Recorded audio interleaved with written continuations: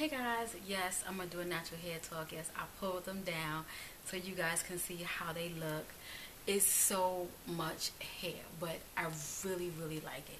But i want to get some advice some suggestions from you guys. Like how should i take care of these things? I was thinking you know i can like put some witch hazel on my scalp or something like that for you ladies who may have had protective styles before or may have had um, Havana twist, Marley twist, whatever you want to call them, Senegalese, box braids, whatever. How do you take care of them? How do you think I should take care of these? I had these in for, say, Friday night, so Saturday, Sunday, and then Monday. They're itching already, and I'm not sure if it's because I'm not used to it and my scalp has been pretty much free for the last two years. I don't know. I mean, I've had braids before, but it's pretty much been my hair. It has not been, you know, with extensions. So I don't know if the extensions are irritating my scalp, but I've really been scrubbing. I've been putting the oil as well to kind of keep it moisturized and stuff like that. But it's really, really starting to itch me. And it's only been three days, so I need you guys' help. How should I take care of these? What should I put on my scalp? Should I be spraying any braid spray on it? What should I be doing? Let me know. I thought I had this down pat. I don't know. That's why I need to ask you guys. And what else?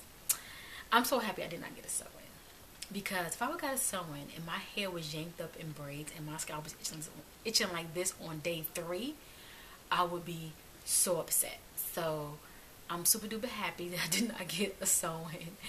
I'm so happy. But I did go and try on some wigs. But it was kind of funny. I don't know. I'm not ready for that yet.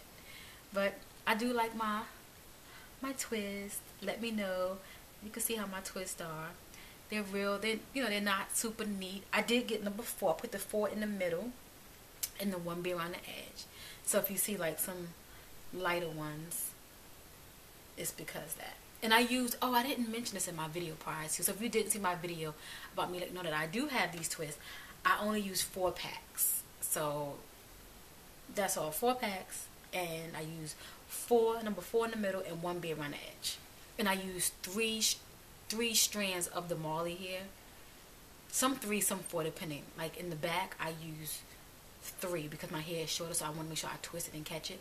But sometimes in the some places, sometimes some places in the middle, I did use four. So that is it. Please let me know down below. Please, ladies, gents, how should I take care of my hair? I need to know. It's itching. I've been dabbing some stuff on it. It's not helping. I'm I'm gonna take them out. I want to do them again. I'm gonna keep doing them. I'm probably gonna do them on a a weekly or a week and a half basis because I can reuse this particular hair. This kind of hair, kinky, the older it gets, the better it looks. So I'll be doing that. So let me know. Let me know if you like it. I'm kind of stoked. But um, yeah. And what I have on my lips, this is the Maybelline limited edition. Is it on the runway? Violet Intrigue? Yeah, that's I think it's 995, something like that. Yeah, this is it. So that's it. Don't forget, ladies, I do have a giveaway going on. So go down, check the video out, enter for the giveaway, and make sure you follow me on Instagram. Talk to you guys later. Bye.